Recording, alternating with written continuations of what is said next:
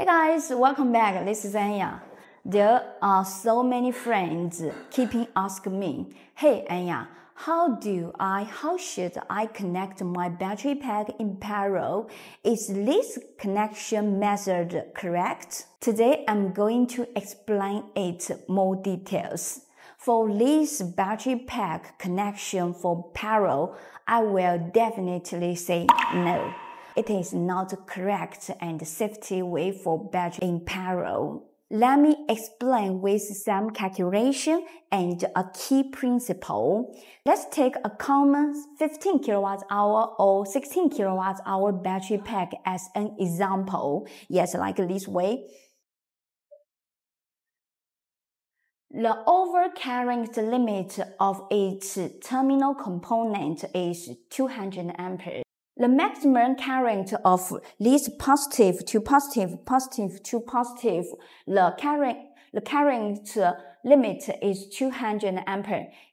If you forcibly connect three battery pack in parallel and then connect the inverter to the last battery, the last battery for the charge and discharge, trouble will arise.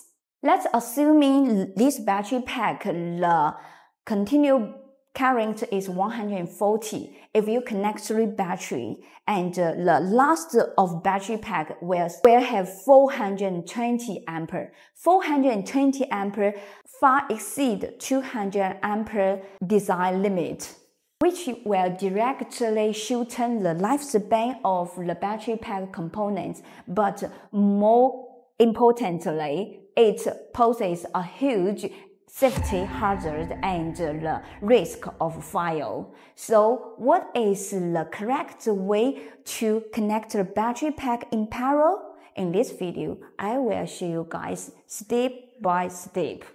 First, let me to show you guys what we need to prepare. Today, I bring you guys is the 16 kilowatt hour of Xinhong brand lithium iron phosphate battery pack, which made by the PACE BMS and the Lishen 314 ampere hour brand new grade A cell built into the built into the battery pack with very high quality.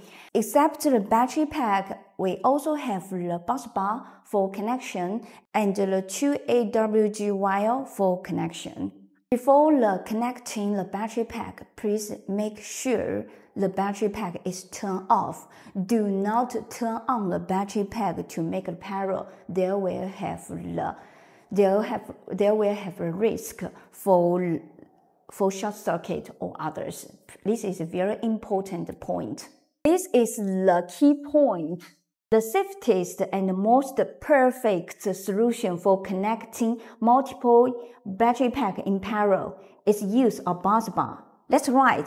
The red is for the positive and the black is for the negative. This helps us distribute the current and stabilize the voltage, avoiding over current in a single circuit. This one we are using today is by the 1, 2, 3, 4, 5, 6. 6 connection points and support a maximum current 600 ampere, which fully meets the needs of multiple battery pack 3 parallel connection. So for well, our list design is for three battery pack to make the parallel. So if you have four or five or six or seven uh, to 16 like this way, you need to choose the different specification of the bus bar. Yes, you can have a details look of this one.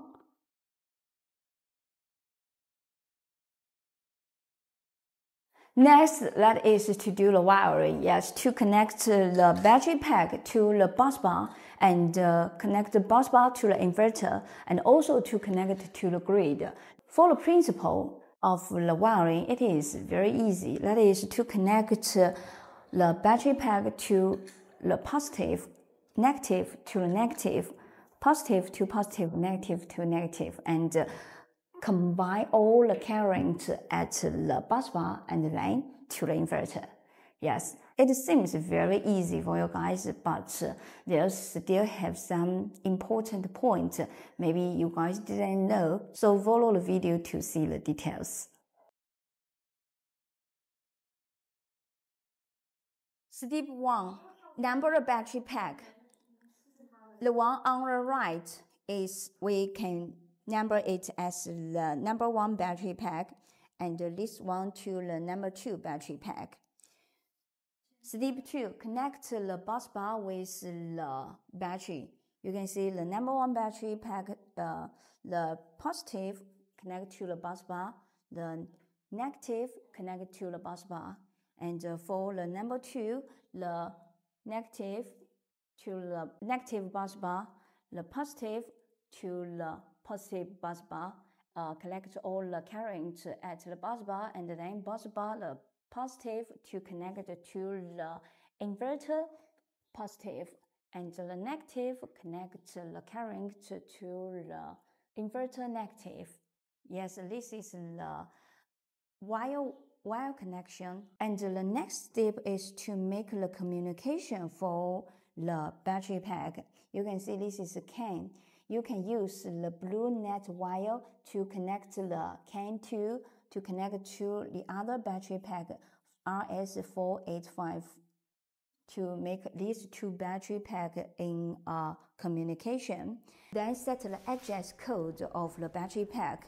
We, for the number one, we set the DIP switch of battery pack 1, 2, you can see is 1000 and for the second battery pack to make the address as the 0100 yes this is the address setting. This allows the battery pack to recognize each other and work together. The final step is the communication connection between the battery pack with the inverter. Then we need to turn on the battery, turn on the battery, to turn on to battery pack. Then final step is to make the battery pack's communication with the inverter. At first, we connect the inverter wire with the battery pack port as CAN port. Then we will choose the app on your cell phone and to check the device information device information to check the CAN protocol and then to check what inverter you use. If your inverter is the DeYe, you can choose this protocol. If your inverter is VCHAN, then choose this one. And uh, if your inverter is GoodWe, then choose the GoodWe. And if your inverter is out, then you choose the Growatt. But our inverter is the magnifold, and then choose the magnifold. Then it's connect well. This is the inverter to choose. Let's to see the setting at the inverter you can see it already communication with the battery pack. This is the battery voltage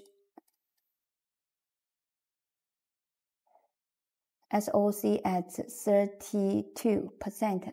And uh, let's to see our battery pack SOC. You can see this is also same, 31 little difference, but it is the same similar. Okay, for this small system, now we only connect the battery pack with the inverter. We didn't connect the system to the grid. So let's to see if it works. And uh, uh, now we bring a fan here and uh, to connect it you can see the fan already works. And let's to see the system. Now it is the discharge, discharge for the 2.7 ampere. So let's to see here. Let's to see the second battery's discharge current. you can see it is 1.64 ampere. Our air condition is connected with this small system and uh, then let's to see the inverter information.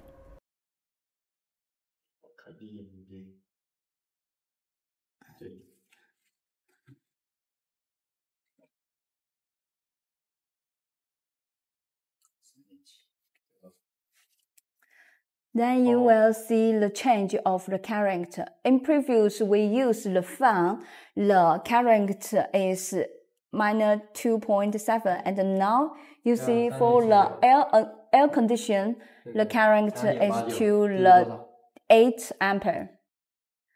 Now this small system is already finished. Uh, this system didn't connect to the grid and now it's only connected with the battery pack, inverter, and the consumption of air conditions. And let's to see the inverter shows.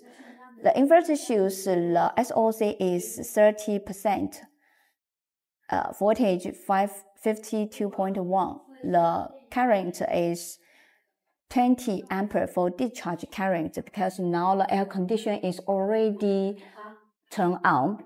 And let's go back to the battery pack of these two battery pack. Firstly, of the number one battery pack, now the volt the SOC is same as the inverter shoes, 31%. The current is 5.77.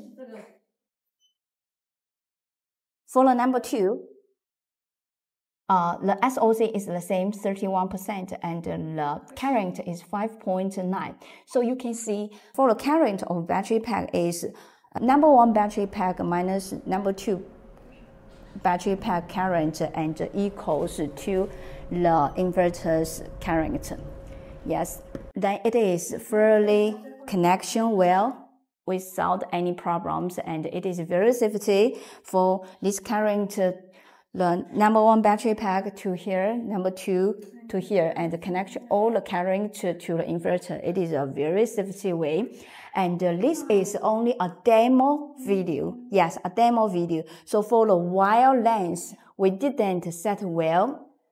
So when you have the battery in your hand, you need to customize the, wire length. Yes, to customize the suitable wire length and to make it more ordering than our demo shoes. Okay, above is today's video about how to make the battery packs in parallel. Is that very easy for you guys? And uh, there still have some most important point. Firstly, if two battery pack capacity, the SOC is not the same, then it cannot in parallel. For example, if this battery pack SOC is 50 and this one is 30 SOC, then it cannot be parallel. And the second, if two different BMS, if this one made by JK BMS and this one made by the Pace BMS, then the two battery pack cannot be parallel. And the third, if in the same BMS, if in the same capacity, if in different brand of battery cell inside the battery pack, then it's it also cannot be in parallel. This is most important three points for how to make a battery packs in parallel. And if you still have questions for how make the details of the communication with the inverter or others, you can leave us your message. And thank you for you guys watching. Amaya, see you next video. Bye bye.